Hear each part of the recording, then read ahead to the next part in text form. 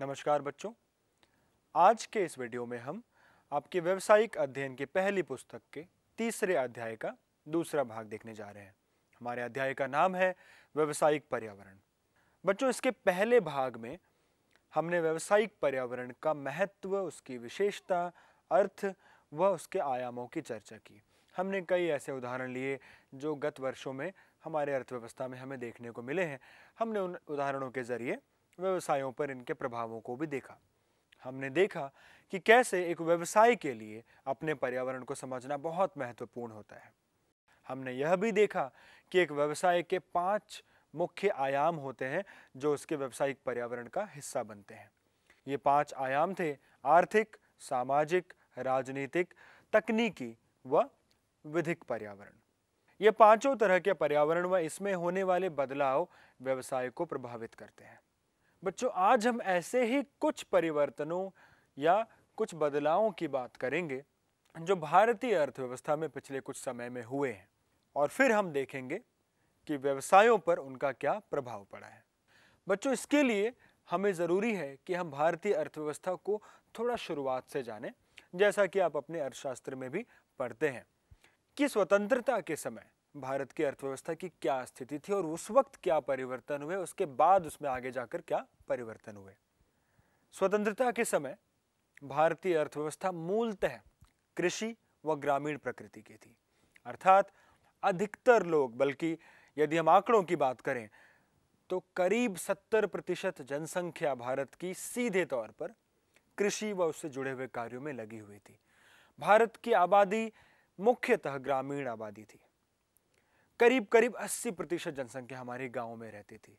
उद्योग नाम मात्र के थे और जो भी उद्योग थे, उनकी बात की जाए या कृषि की बात की जाए, उनमें जो तकनीकी प्रयोग होती थी, वो बड़े ही असंगत व निम्न श्रेणी की होती थी।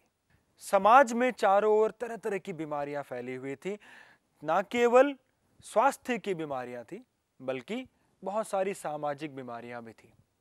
इनके कारण मृत्यु दर बहुत ऊँची थी। कोई अच्छी सार्वजनिक स्वास्थ्य प्रणाली नहीं थी। भारतीय अर्थव्यवस्था व साथ ही साथ भारतीय समाज बहुत ही बुरे दौर से गुजर रहा था। इन समस्याओं को हल करने के लिए सरकार ने अनेक कदम उठाए, जिनमें कई तरह के औद्योगिक व कृषि क्षेत्र में किए गए सुधार शामिल हैं। भारत को जब स्वतंत्रता प्राप्त हुई तो भारतीय नेताओं ने सबसे पहले तो औद्योगिक क्षेत्र की कमान सार्वजनिक क्षेत्र को दी। निजी क्षेत्र को, यानी प्राइवेट कंपनियों आदि को नियंत्रित करके रखा गया भारत के आर्थिक विकास के कुछ मुख्य उद्देश्य निर्धारित किए गए जैसे कि जीवन स्तर को सुधारना, बेरोजगारी को कम करना, गरीबी को कम करना, आर्थिक विकास को बढ़ावा देना। आत्मनिर्भरता एक बहुत महत्वपूर्ण उद्देश्य रखा गया क्योंकि भारत कई सारी आधारभूत वस्तुओं के लिए भी दूसरे देशों पर निर्भर था।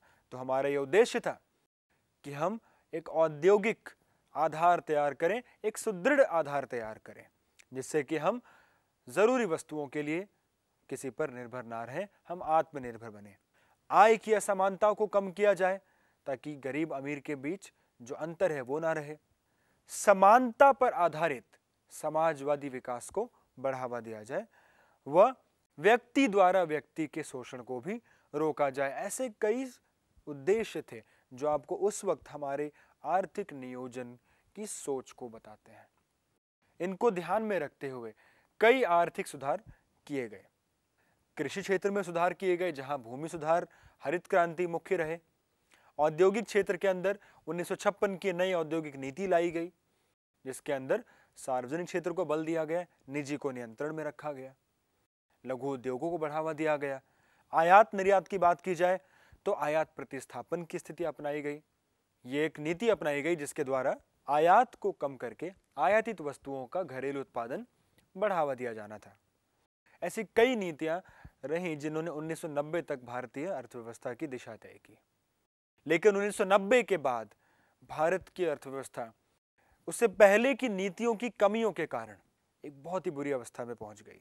जिसके कारण उन्नीस सौ इक्यानवे में भारतीय सरकार को बहुत बड़े स्तर पर आर्थिक सुधार करने पड़े, जो कि पहले की कमियों को ठीक करके अर्थव्यवस्था को विकास के मार्ग पर ले जा सके। इस कारण सन उन्नीस सौ इक्यानवे में नई आर्थिक नीति की घोषणा की गई। इस नीति के अंदर तीन मुख्य पहलू या कदम उठाए गए। पहला था उदारीकरण। उदारीकरण के अंदर किए गए सुधारों का मुख्य उद्देश्य था भारत में व्यवसाय व उद्योगों को अनावश्यक नियंत्रणों व प्रतिबंधों से मुक्त करना। 1990 तक भारत में उद्योगों पर कई तरह के प्रतिबंध थे, जिनमें से सबसे मुख्य थे लाइसेंस की अनिवार्यता। 1990 तक के समय काल को लाइसेंसी राज भी कहा जाता है। तो ऐसे लाइसेंस परमिट के राज को समाप्त किया गया उन्नीस सौ इक्यानवे की नीति के अंतर्गत। ताकि उद्योग स्वतंत्र महसूस करें, वो अपनी गतिविधियों को बिना अनावश्यक रोक टोक के कर सकें, जिससे कि देश में उद्योगों को बढ़ावा मिले। दूसरे प्रकार के सुधार थे निजीकरण के सुधार।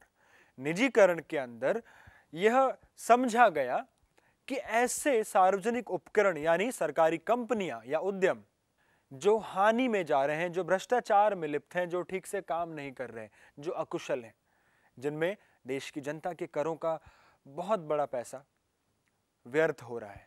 ऐसे सार्वजनिक कंपनियों या सरकारी कंपनियों को या तो बंद करना था, या इनमें सार्वजनिक क्षेत्र की भूमिका यानी सरकार की भूमिका को कम करके निजी भूमिका को बढ़ावा देना था, चाहे इसके लिए इन कंपनियों में सरकार को अपना अंश या हिस्सा ही क्यों ना बेचना पड़े।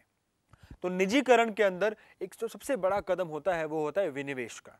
इसका अर्थ होता है सरकारी कंपनियों या सार्वजनिक उद्यमों में सरकारी हिस्से अंश को निजी हाथों में बेच देना, अधिक से अधिक निजी व्यक्तिगत प्रबंधन को इन कंपनियों में लेके आना, ताकि कुशलता को बढ़ावा दिया जाए, लाभ को प्राप्त किया जाए। तीसरे प्रकार के सुधार थे वैश्वीकरण। वैश्वीकरण का अर्थ है देश की अर्थव्यवस्था को विश्व की अर्थव्यवस्था से जोड़ देना। अर्थात जब विश्व की विभिन्न अर्थव्यवस्थाएँ एकजुट हो जाएँ या एक दूसरे से मुक्त रूप से, आसानी से लेन देन कर पाए आयात निर्यात कर पाए, व्यवसाय कर पाए तो ऐसी परिस्थिति व विभिन्न अर्थव्यवस्थाओं के बीच बीच इस प्रकार की एकजुटता वैश्वीकरण कहलाती है। 1990 इक्यानवे के बाद का समय वैश्वीकरण का समय भी कहा जाता है तो भारत ने भी उसे अपनाया। भारत ने उस नीति को बदला, जिसे आयात प्रतिस्थापन के नाम से हम जानते हैं, जिसके अंदर आयात निर्यात की मात्रा बहुत कम थी। भारत अन्य देशों, उनकी अर्थव्यवस्थाओं से लेन देन बहुत कम करता था। वैश्वीकरण की नीति के अंदर ऐसे कदम उठाए गए, जिससे कि आयात निर्यात को बढ़ावा मिले, देश का अन्य देशों के साथ लेन देन बढ़े, हमें बाहर की अच्छी तकनीकें प्राप्त हों, अच्छी चीज़ें सीखने को मिले वह हमारे देश में विदेशी मुद्रा का संचार बढ़े। तो इस तरह उन्नीस सौ इक्यानवे में जो सुधार किए गए इन्होंने भारतीय अर्थव्यवस्था को एक तरह से पलट कर रख दिया। जो 1990 से पहले थी, वो बिल्कुल बदल गई उन्नीस के बाद। और एक नई भारतीय अर्थव्यवस्था का उदय हुआ। इस नई भारतीय अर्थव्यवस्था ने फिर उसके बाद पीछे मुड़कर नहीं देखा है। हमारी अर्थव्यवस्था निरंतर तरक्की कर रही है, विकास कर रही है और इसे विश्व की सबसे अधिक गति से बढ़ती हुई अर्थव्यवस्थाओं में गिना जा रहा है। इसके अलावा, अगर हम बहुत कम समय में पीछे जाएँ और इन पिछले कुछ वर्षों में हुए कुछ बड़े आर्थिक बदलावों की बात करें तो सबसे पहला नाम जो हमारे दिमाग में आता है, वो है विमुद्रीकरण या डीमोनेटाइजेशन आप में से कई बच्चों को याद भी होगा, क्योंकि यह केवल लगभग चार वर्ष पहले की बात है। 8 नवंबर 2016 को भारत सरकार ने यह घोषणा की। उन्होंने यह निर्णय लिया कि उस वक्त भारतीय करेंसी या मुद्रा में जो सबसे बड़े मूल्य की करेंसी नोट थे। पाँच सौ रुपए व हज़ार रुपए के। इन्हें तत्काल प्रभाव से विमुद्रित कर दिया गया है। विमुद्रित करने का मतलब है, इस घोषणा के तुरंत बाद से 500 व हज़ार के जो नोट थे, उन्हें भारतीय मुद्रा नहीं माना जाएगा। इस घोषणा के बाद 500 व हज़ार के नोट कानूनी मुद्रा के अपने औहदे या पद से हट गए। इसके बाद धीरे धीरे करके सरकार ने नई मुद्राएँ लेकर आई, जिसमें दो हज़ार रुपए के नोट भी थे, पाँच सौ रुपए के नए नोट भी थे। इसके बाद अन्य नोटों की भी नई प्रतियाँ निकाली गई। लेकिन जब डिमोनेटाइजेशन या विमुद्रीकरण किया गया तो 500 रुपए और हज़ार रुपए के नोट जो कि उस वक्त हमारे यहाँ सबसे बड़े नोट थे, ये मुद्रा के पद से हट गए, अवैध बन गए, जिसके कारण देश में उपलब्ध या प्रचलित करीब 80 प्रतिशत मुद्रा अवैध हो गई। यानी लोगों के पास देश में, अर्थव्यवस्था में जितनी भी मुद्रा थी, जितने भी पैसे थे, यह अनुमान लगाया गया कि करीब 80 प्रतिशत मुद्रा पाँच सौ व हज़ार के नोटों के रूप में थी और वो अवैध हो गई। लोगों को समय दिया गया इस अवैध मुद्रा को बैंकों में जमा कराना। लेकिन उसके साथ नगद निकासी पर कुछ प्रतिबंध लगाए गए ताकि सभी को अपनी ज़रूरत के हिसाब से कुछ मुद्रा उस वक्त मिल सके। वह बड़ा ही कठिन समय था, लेकिन लोगों ने भी समझा कि उसके कुछ विशेष उद्देश्य थे। सरकार ने विमुद्रीकरण क्यों किया? इसके विशेष उद्देश्य थे भ्रष्टाचार को रोकना, आतंकी गतिविधियों को कम करना, क्योंकि ऐसा माना जाता था कि भ्रष्टाचारी अपने भ्रष्टाचार से प्राप्त रकम या राशि को मुख्यतः बड़ी मुद्रा में ही रखेंगे, यानी पाँच सौ हज़ार में ही रखेंगे। आतंकी गतिविधियों में भी काफ़ी ऐसे, ना केवल कानूनी मुद्राएँ, बल्कि नकली नोटों का भी इस्तेमाल होता है, जो पाँच सौ हज़ार रुपए के होते थे। तो जब ये मुद्रा बंद हो गई तो भ्रष्टाचार व आतंकी गतिविधियों में कम होने का अनुमान या आशा की गई थी। काले धन को वापस लेने का भी एक उद्देश्य था कि भ्रष्टाचार के ज़रिए कई सारे लोगों के पास जो काला धन उपलब्ध होता है अब शायद वो उसे बैंकों में जमा कराएँ, क्योंकि अब तो वैसे भी उसका कोई मूल्य नहीं रहा। तो सरकार ने इसके लिए भी कई योजनाएँ दी, जिसके ज़रिए लोगों को प्रोत्साहित किया गया कि यदि उन्होंने पहले अपनी आय को नहीं भी बताया तो वो बता सकते हैं। सरकार उन्हें कुछ माफ़ी देगी या उन्हें उतना जुर्माना नहीं लगाया जाएगा, ताकि लोग प्रोत्साहित हों अपने काले धन की राशि को भी उजागर करने के लिए। तो इन उद्देश्यों के साथ विमुद्रीकरण को किया गया था। इसलिए अल्पकाल में काफ़ी दिक्कतें हुई लोगों को, लेकिन दीर्घकाल में धीरे धीरे इसके कुछ अच्छे असरों की या प्रभावों की भी कल्पना की गई।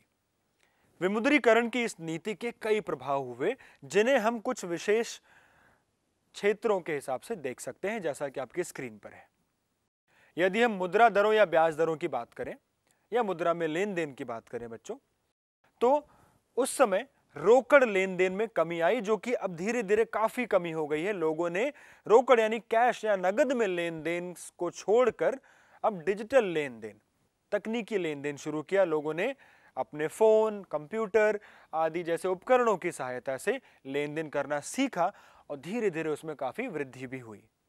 क्योंकि लोगों को अपने पास उपलब्ध पाँच सौ व हज़ार की राशियों को जमा करना था बैंकों में, इस वजह से बैंक के जमाओं में भी वृद्धि हुई। वित्तीय बचतों में वृद्धि हुई तो इसका परिणाम एक सकारात्मक परिणाम कहा जा सकता है, जो कि मुद्रा के क्षेत्र में पड़ा।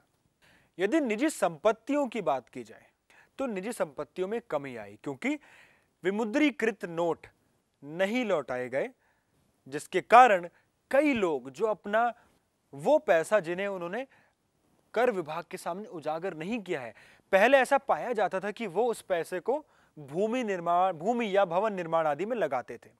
लेकिन जब लोगों ने उस काले धन को नहीं लौटाया और उसका वो अब उपयोग भी नहीं कर पाए वह उसका वो निवेश भी नहीं कर पाए भूमि या भवन आदि में तो इसके कारण भवनों की मांग, फ्लैट्स की मांग, घरों की मांग, जिसे हम रियल स्टेट सेक्टर या क्षेत्र कहते हैं, उसमें मांग काफ़ी गिर गई, जिसके कारण भूमि व भवनों के मूल्य भी गिर गए।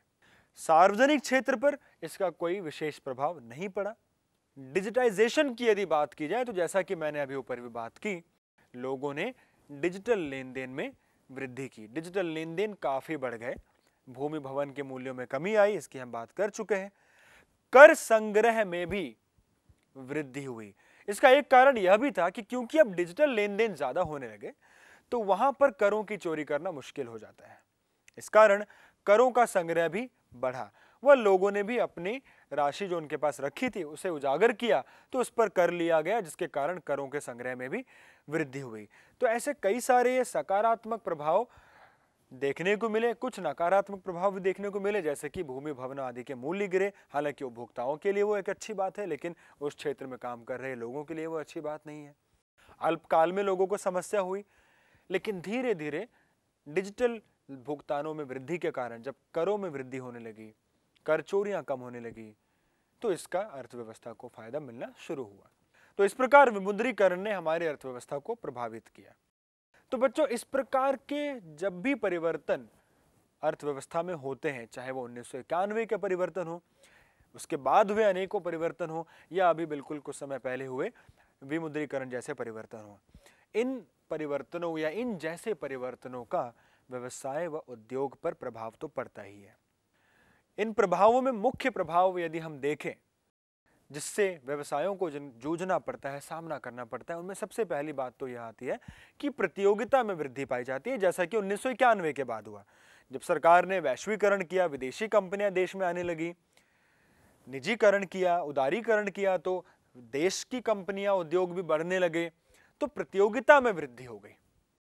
तो जो पहले से उद्योग मौजूद होते हैं उनके लिए इसका असर यह पड़ता है कि उन्हें अपने आप को सुधारना पड़ता है, उत्पादों की गुणवत्ता को बेहतर करना पड़ता है ताकि वो प्रतियोगिता का सामना कर सके।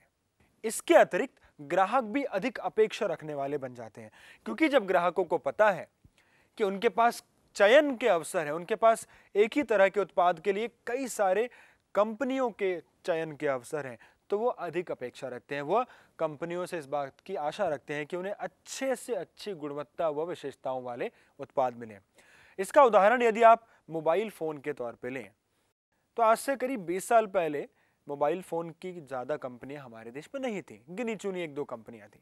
लेकिन आज जब आप मोबाइल फ़ोन खरीदने जाते हैं तो हर प्रकार के आपके पास चयन के अवसर हैं। कई प्रकार की कंपनियाँ आपके पास हैं। अलग अलग विशेषताओं को देखकर आप अपने पसंद का मोबाइल फ़ोन खरीद सकते हैं। ऐसा लगभग सभी उत्पादों में आप देखेंगे। ऐसा पिछले कुछ समय में हुए आर्थिक परिवर्तनों के कारण हुआ है। प्रौद्योगिकी में जब परिवर्तन होता है तो उद्योगों को अपने आप को उससे अपडेट करना होता है, अवगत कराना होता है। जैसे जब डिमोनेटाइजेशन यानी विमुद्रीकरण हुआ तो डिजिटल पेमेंट बढ़े तो सभी व्यवसायों को भी खुद को डिजिटल पेमेंट के साथ जोड़ना पड़ा, उसको उपयोग करना शुरू करना पड़ा। इसके अलावा जब जीएसटी लागू किया गया 2017 में तो सभी व्यवसायों को अपने पास जीएसटी के सॉफ्टवेयर लेने पड़े, उनसे अपने कर्मचारियों को प्रशिक्षण देना पड़ा। तो व्यवसायों पर इसका प्रभाव तो पड़ा, उन्हें इसके अनुरूप खुद को ढालना भी पड़ा। एक परिवर्तन की आवश्यकता महसूस हुई। अब इन सभी के लिए खुद को ढालने का मतलब क्या है? व्यवसाय खुद को नहीं ढालता, व्यवसाय का ढलना या व्यवसाय का बदलने का मतलब है, व्यवसाय के अंदर जो लोग काम कर रहे हैं, उनका बदलना, उनका उसमें ढलना। इसके लिए मानव संसाधन के विकास की आवश्यकता पड़ती है। तो इन परिवर्तनों के फलस्वरूप व्यवसायों को निरंतर अपने पास उपलब्ध मानव संसाधनों के विकास पर ध्यान देना पड़ रहा है। आज कंपनियाँ अपने कर्मचारियों, यानी मानव संसाधनों के ट्रेनिंग या प्रशिक्षण पर बहुत ध्यान देती है। समय समय पर उनका प्रशिक्षण किया जाता है ताकि उनके अंदर की कुशलताओं या गुणवत्ताओं में विकास हो, वो बेहतर काम करें। जब मानव संसाधन बेहतर होगा तो कंपनी का काम अच्छा होगा, प्रचालन अच्छा होगा, उसका निष्पादन अच्छा होगा। वह एक बहुत ही महत्वपूर्ण बदलाव जो आया है कंपनियों में या व्यवसायों में, वह है बाज़ार अभिविन्यास।